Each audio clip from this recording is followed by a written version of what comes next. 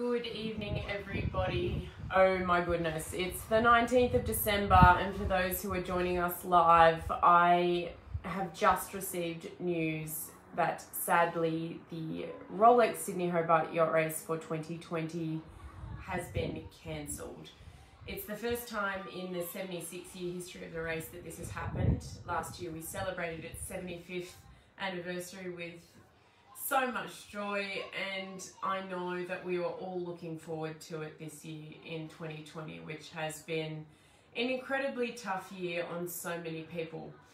With that in mind, and with safety at the forefront of everybody's minds, given the cluster that has been building in the northern beaches of Sydney, the organising committee have had no choice but to cancel the race. They considered many options in regards to changing the course, even postponing the race, but under the advice of Gladys Berejiklian, the New South Wales Premier, there was no other choice really but to cancel the race in the means of everybody's safety and to make sure that we keep doing what we've been doing in 2020 and is that is that is to make sure that we are all able to have so many years into the future. So um, for those who follow Adventures of a Sailor Girl, you will know that the Rolex Sydney Hobart Yacht Race is the first race that I followed with as much enthusiasm as possible. This was to be our ninth race at the start and and then also to go on to the finish. And I cannot thank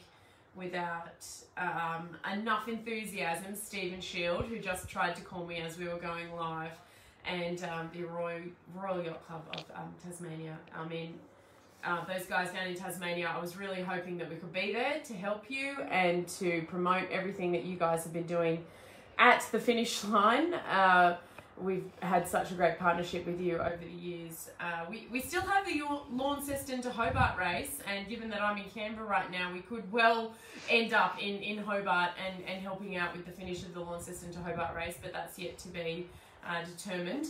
So um, we, we will be keeping tabs on that. But I cannot give enough praise for uh, for Stephen Shield and Marine Supplies in Hobart for all of the support that they've given to me at that end, and all of my other uh, supporters that have been on board. Harken always at the front; they were with me from the get go. So a big shout out to them. And we were uh, messaging all day, given that, that we were watching the America's Cup racing in Auckland as well. So uh, my best to all of those who are doing the best they can for sailing in uh, a COVID safe environment in Auckland as well. So Oh, I don't know. I mean, it's been a really tough day for me. I've had a lot of ups and downs emotionally, uh, as I'm sure a lot of people have done, because we all really wanted this yacht race to happen. So, um, yeah, I don't really know what else to say except that I know that the the organising authorities from not only the uh, Royal Yacht, uh, the Royal Tasmanian Yacht Club point of view and the Cruising Yacht Club of Australia's point of view, they would have done everything they can to make this yacht race happen because we really needed it to happen. And with it not happening, it just means that we need to do the best that we can leading into Christmas to stay locked down. And, um, you know, I, am in a weird spot myself. I don't have a Hobart happening, and I probably won't get to spend Christmas with my family anyway. So uh, that just brings to the forefront of our minds what the focus for 2020 has been, and that is staying safe, making sure we don't only think of ourselves, but we think of the person next to us and uh, what what it really means to be a human and part of humanity. So it's really out of our control, and all we can do at this point is to have a very, very Merry Christmas. I was going to wear reindeer ears or my elfie hat that I had ready for the Hobart race, but I thought it wasn't appropriate given that it's kind of a sad point, um, you know, announcing the cancellation of a race that means so much to you.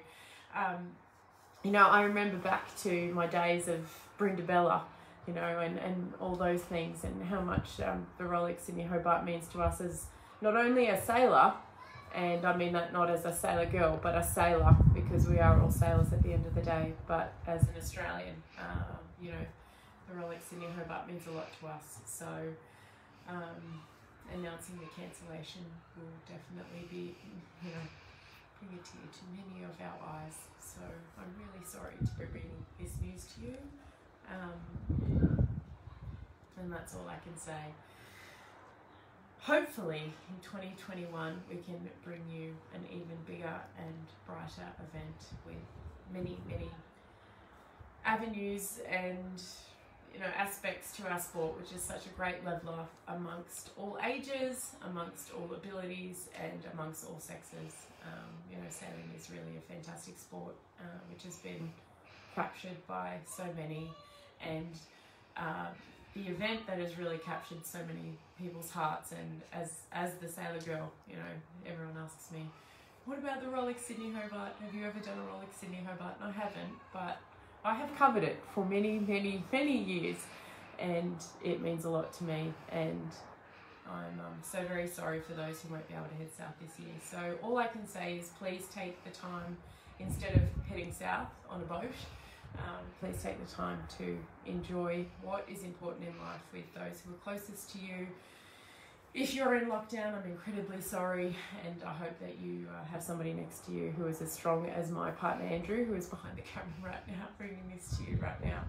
And um, I send you all my love and wishes for 2021 that we will really, really enjoy and take all the lessons from 2020, which has been to enjoy the small things in life, the simple things in life, and the adversities that we can overcome and, and be so strong. So uh, and, and stronger than we thought. So that's all I have to say, really. And I look forward to seeing you for future adventures.